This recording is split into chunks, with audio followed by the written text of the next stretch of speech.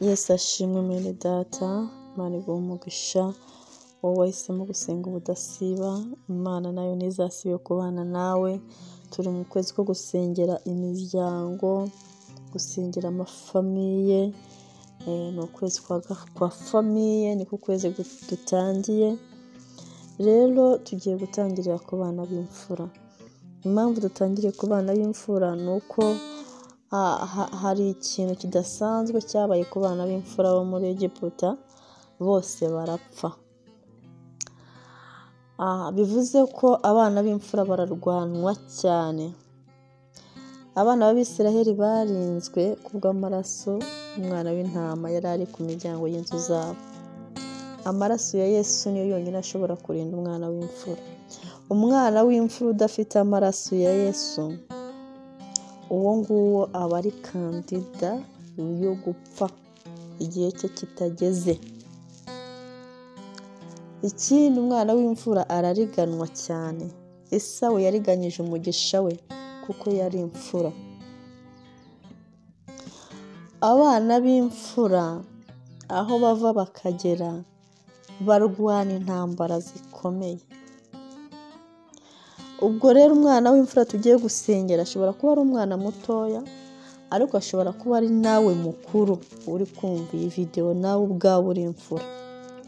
Umenye ko nawe uri ujya ugiye kwisengera. Umwana w'imfura agomba kuba responsable, agomba kuba umutwe, agomba kudomina, agomba kuyobora. Igihe cyose uri muri pozisiyo ya victime, igihe cyose uri muri pozisiyo yo guhora urenganwa, igihe cyose uri muri pozisiyo yo kubona bakuriganya ibyawe, ubona akazi bakakuriganya, ubona fiyanse bakamukuriganya, ubona mbese amafaranga wajya kuyakozaho intoki bukayariganwa, ubona hari eneriji, umwuka wo kuriganwa ukugendaho, umenye ko satani yakwatatse kandi uri umwana w'imfura. Ikindi umwana w'imfura rwose agomba guhora ko amaraso ya Yesu amuriho. Ni na yo mpamvu twahisemo gusengera imiryango muri uku kwezi kwa kane, aho tukiri kwibuka imbaraga z'umuzuko wa Yesu, tukiri kwibuka urupfu rwa Yesu, tukiri kwibuka amaraso ya Yesu agaciro afite ku buzima bwacu. Ni na yo mpamvu tugiye gufata amaraso ya Yesu ukayashyira ku buzima bwawe w'umwana w'imfura, ukayashyira ku buzima bw'umwana wawe w'imfura ufite. Niba uri imfura urayishyiraho, hanyuma niba ufite imfura na yo urayamushyiraho. Ushobora kuba wihagarariye kimwe no kuba uhagarariye undi muntu, ariko fata amaraso ya Yesu uyashyire ku buzima bw'imfura waba uzi, uyihagararire mu izina rya Yesu.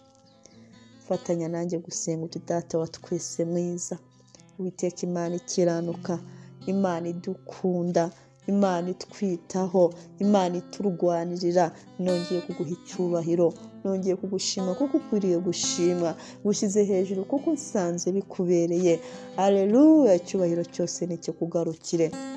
Uri Imana ivuga bikaba, uri Imana itegeka bigakomera.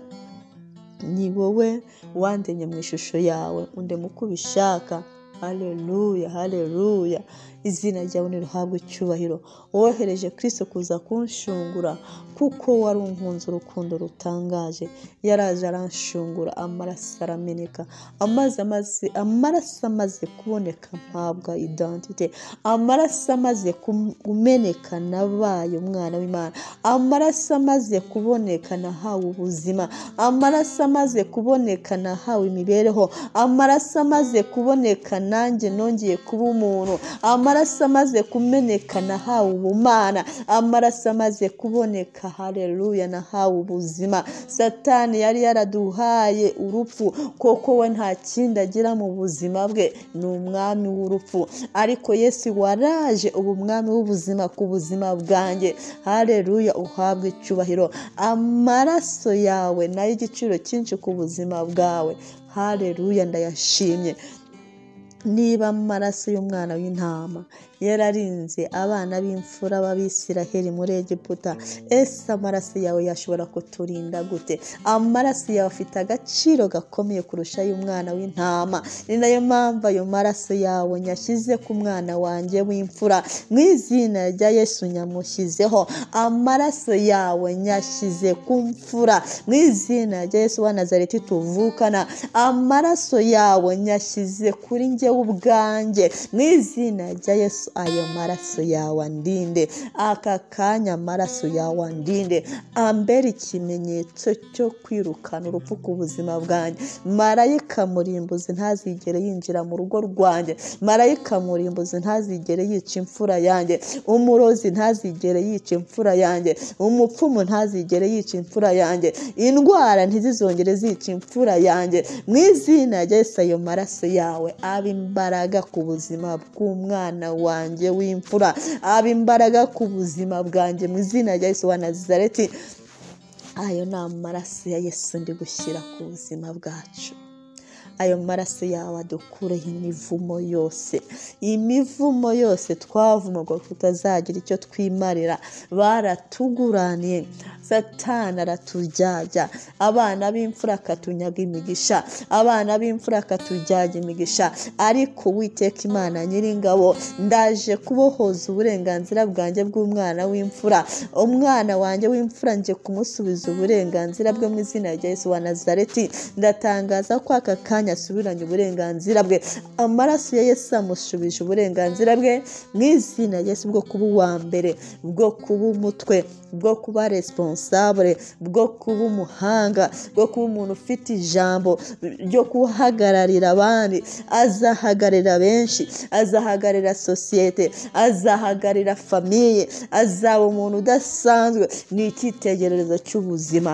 Mu izina Yesu wa nazareti azaba umugisha ku mana no ku bantu. Azavuga ijambo yemerwe mu izina Yesu wa nazareti. Azagira igikundiro kirenze. Azagira ubwiza burenze. Umwana wanjye w'imfura mushyize mu maraso ya Yesu wa nazareti. Ayo maraso amuhesha uburenganzira bwe. Yari yarambuwe na satani. Satani ndaguheje ku mwana wanjye w'imfura. Wabyago mwirukanye ku mwana wanjye w'imfura. Mu izina Yesu wa ndwara umuheje ku mwana wanjye w'imfura. Amaraso ya Yesu agufiteho ijambo. Amaraso Yesu araguhakaniye arakubwiye ngo umwana wanjye w'imfura nindakorwaho. Arakubwiye ngo nanjye ubwanjye nindakorwaho. Kubw'amaraso ya Yesu andiho kubw'amaraso Yesu ari ku buzima bwanjye kubw'amaraso ya Yesu nshyize ku muryango w'inzu yanjye ayo maraso Yesu aravuze ngo turi bazima. Aravuze ngo ntabwo tujya dupfa. Aravuze ngo turaramba.